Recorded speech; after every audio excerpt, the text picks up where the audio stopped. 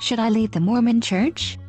I remember a famous atheist saying you could talk a Mormon out of Mormonism, but not into Christianity. What are you going to do? I have not decided yet. It could impact your social life, given how many Mormons have a social life that revolves around temple, Boy Scouts based in the stake, family game night. I am fine in that regard.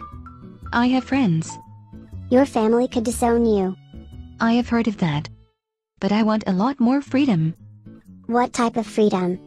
While the church says we are called to serve, such as teaching Sunday school, I am much more likely to be assigned to scrubbing toilets during Christmas week. And since rejecting callings are akin to rejecting Jesus, I could go to hell for not being an unpaid janitor. That is a lot of work. Do you know how much work you have to do as a Mormon woman? You are expected to not just clean the house but raise a half dozen kids. Go to temple, teach scripture at home, have a one-year supply of food, make your own meals like yogurt and cookies from that food supply. It sounds like Mormons are preppers. Mormons were preppers before prepping was cool. And then you are supposed to support the priesthood.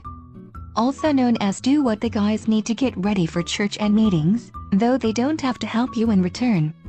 That is a lot of work. Then women are supposed to help with genealogy.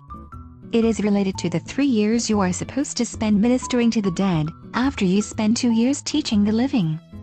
It sounds like you are burned out with all the demands. And these are the expectations I face, before I've married and had kids.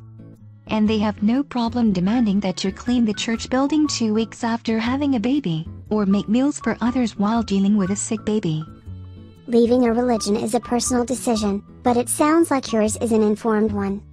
Yeah, I am totally burnt out from being super Mormon mom all the time.